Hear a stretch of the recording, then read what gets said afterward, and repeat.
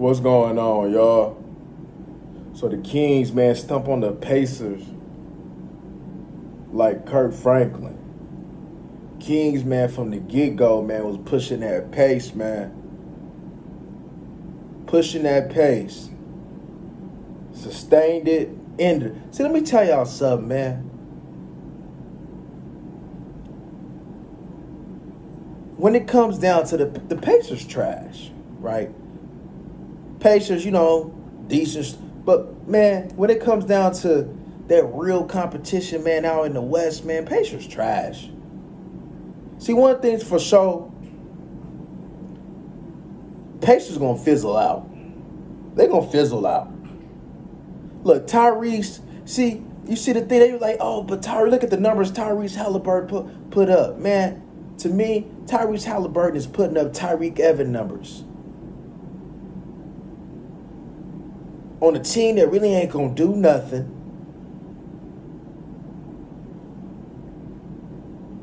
With no, you know what I'm saying? Turner is cool. Buddy's a shooter. But after that, it's just some hit or miss people that's on the squad. Dear, they talk about the debate has always been De'Aaron Fox and Tyrese Haliburton. De'Aaron Fox is balling on a team that's contended for the playoffs. Is Tyrese Haliburton? Tyrese Haliburton is a pure point guard.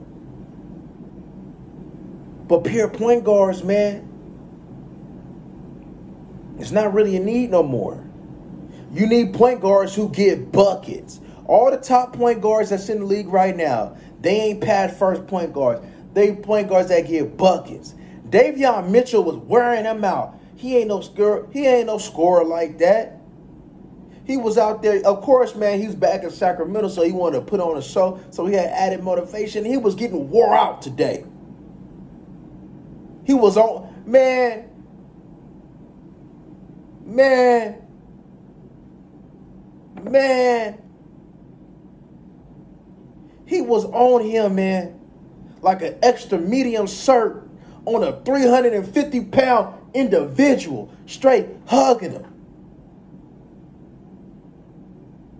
He ain't no scorer. He gonna fill up the stat sheet. He gonna he, he he gonna be able to go ahead, man. He gonna drop some dimes. He gonna grab some boards. Put up a little bit of points. But come on, man. Let's be real. Let's be real. When somebody really takes the time out to wear him down, like Davion Mitchell, he will become a non-factor offensively. De'Aaron Fox see, sees the best when it comes down to the guards. Still gets buckets. This the difference. It's the difference. I don't care what nobody. It's the difference. He's a score first point guard, and that's what you need to throw. There's a reason why we shipped Tyrese off and not Fox. There's a, re- there's a reason why we paid Fox and not Tyrese. Oh, to get Fox, Sabonis will go nice. If we had Tyrese in the position that we had right now with the Kings, would the Kings be like this? I don't think so. I don't think so. I'm gonna be honest with you. I don't think so.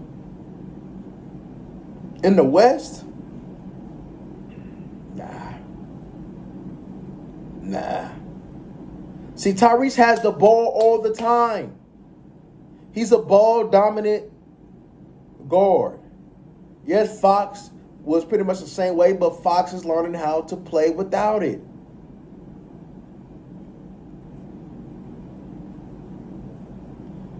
Fox is more athletic. Fox is a slasher. Tyrese is not. You see what it was happening around the rim. He wasn't having it. Got a little size on him, yeah.